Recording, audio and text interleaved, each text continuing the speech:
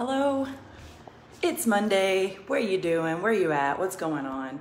I um, I'm preparing to teach yoga here. I'm in Westport. If you don't know where Westport is at, it's on the northwest corner of the United States. The sun is shining, so what a gift! And the wind isn't howling 25 miles an hour, so what a gift.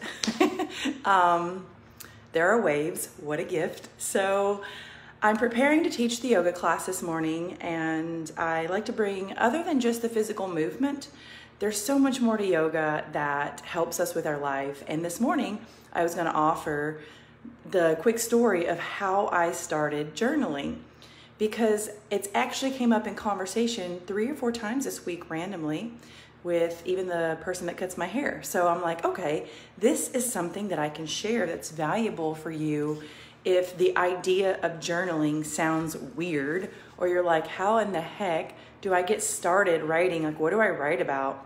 So I pulled this out. This is a very ancient artifact. This is the first journal that was given to me by my colon therapist, Bonnie, in San Diego. She gave this to me as a gift and she said, you need to write about your life. Your life is interesting. So I was like, okay, cool. And this empty journal sat with me for a really long time. It's pretty, right? But I didn't understand how to start writing. I wasn't a writer at all. And um, when I used to study, I would write things. And so I could learn, I would write out. Um, when I was in the Navy, I had to learn a lot of information. So the way for me to learn the information was just to write it down. I that's how I learn. I I know that you probably learn in a very specific way. But what I would do is I would read books or I would see a quote. If you ever saw a quote and you're like, "Ooh, that's cool. I really I really like that. It, it resonates with me." Or you're reading something in a book or a magazine or you're reading a meme online or something like that. I don't even know if people read books anymore, but I still I'm so old school. I read books. But for example, if I was reading this book and thumbing through it and reading it. Um, of course, you know, there's the good old highlighter.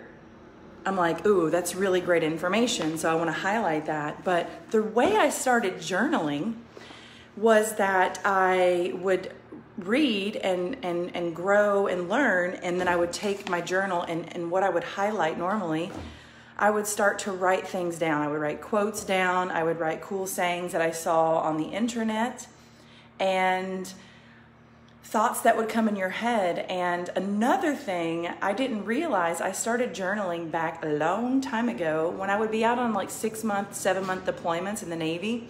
You have a lot of time on your hands. you have a lot of time to think about things when you're sitting a six hour watch and you're watching the radar and you're in the middle of the Atlantic or Pacific Ocean and there's no ships or contacts. So, what I started doing was writing down my dreams. When you're on the ocean for months at a time, you have a lot of time to envision a life that you dream of. Oh. And along with being on land, the idea I would get would be like I would write about my dream house, like I want a house, or the other dreams I would write about when I was out on watch on the on the ocean. I would write about what kind of lifestyle do I want? Where do I want to travel to? What kind of experiences do I want to have? And so I called it Terrish's Little Book of Dreams, but it was like a composition notebook that I took on watch with me because we're not supposed to be reading stuff on watch, as you know. You're supposed to be paying attention. But when you're in the middle of the Atlantic Ocean or the Pacific Ocean and there's no contacts anywhere, you could doodle. I doodled and I doodled my dreams. I doodled what I wanted to do in my life because when you're out on deployment, the only thing you have to do is dream, or you sit around and talk about crap that's not important. So I chose to dream. And you can take just a regular notebook, it can be a composition notebook, it can be a lineless notebook. Look at that. There is no rules when it comes to writing. This was copied out of a book called Think and Grow Rich. I'm sure you may have heard of it. I literally would write passages out of books and things that I wanted to learn, I would just write them. So that's how I started to journal. It doesn't have to be, Dear Diary. Today, Timmy didn't talk to me. It hasn't, it, you know, it, ha- it doesn't have to be like that. It can be, I dream of traveling to Italy and having a glass of wine and looking out over the Mediterranean Sea and eating a big plate of pasta. Like you could start writing about your dreams and your desires. That's one thing that the system has not told us. The system has taught us how to be servants of the system. The system has taught us that you go to work, you make money, you pay your bills, and you buy all these things, and you're supposed to be happy. But what the system hasn't taught us to do is to dream big. The system hasn't taught us to set bigger visions and goals than we can imagine. So we really have the capacity to do and dream and build anything you want in life. You can go anywhere you want, you can have anything you want, but no one's ever given you the permission to dream. So, journaling for me is taking it back to when you were a little kid and your parents or someone said, What do you want to be when you grow up? Well, I don't care if you're 65 right now and you're watching this. I want you to ask yourself, what do I want to do when I grow up? Where do I want to go? What kind of life do I want to have? And it can start by writing it down.